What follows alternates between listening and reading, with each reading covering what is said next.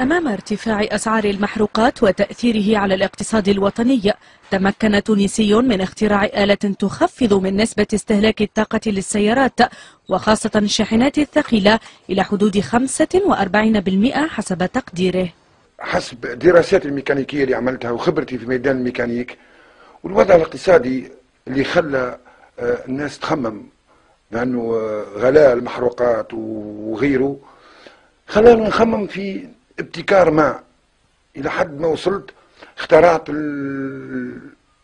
الجهاز هذا اللي تشوفوا فيه قدامكم واللي من شأنه يعاون برشا الناس هذما الاستثمار في مثل هذه المشاريع فكرة مربحة لا ريب فهذا الجهاز سهل التركيب على كل أنواع السيارات وخاصة الثقيلة كما أنه لا يضر المحرك فضلا عن أنه مقتصد للوقود.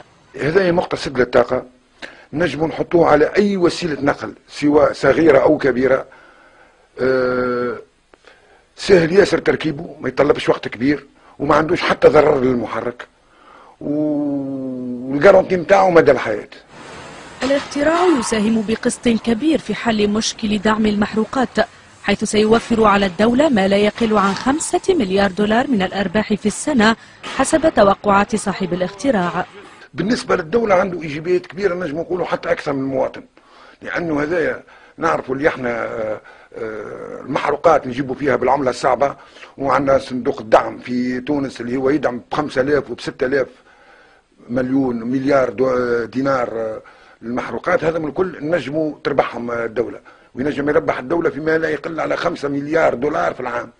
المعرفة والخيال والحرية والتاريخ مفردات آمن بها فوزي خليل وكسبت تحديات لإيجاد حل تونسي صرف للارتفاع المتواصل للمحروقات والنتيجة براءة اختراع ناجح ستستفيد منه الدولة والمواطن على حد السواء.